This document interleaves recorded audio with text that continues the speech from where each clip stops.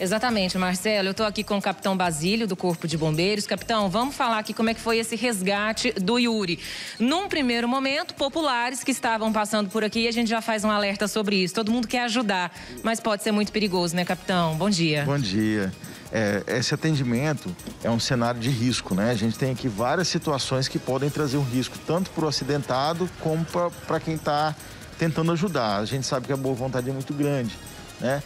A, a, agilidade desses populares acabou ajudando também, porque enquanto a gente deslocava para o local, né, em cerca de 10 minutos eles encontraram o Yuri, né?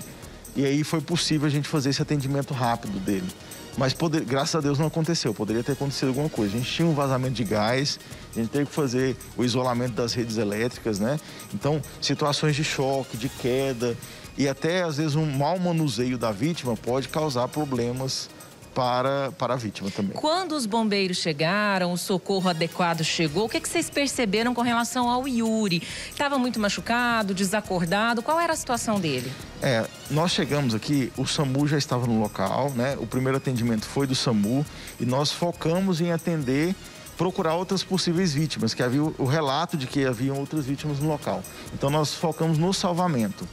Quando o Yuri foi transportado para a ambulância, a informação é que ele já tinha tido uma parada, né? E a gente se preocupou muito com isso. Por isso, quando ele entrou na viatura, a gente já acionou o serviço médico aéreo nosso, né, o helicóptero, que fez esse transporte para a unidade mais especializada e provavelmente isso teve uma grande influência na, na, na, na recuperação do Yuri, né? Que é, esse, esse tempo é importante.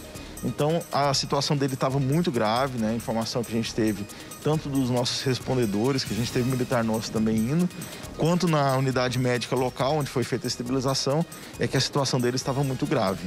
Justamente por isso, o senhor disse que tudo bem, que os populares vieram, ajudaram, isso foi bom nesse, nesse momento, mas ali no momento em que eh, eles pegam ele ali pelo colo, carregam ele no colo, alguma coisa poderia até ter se agravado para o Yuri caso ele tivesse ali com algum osso quebrado, alguma coisa isso, nesse sentido, né? Isso.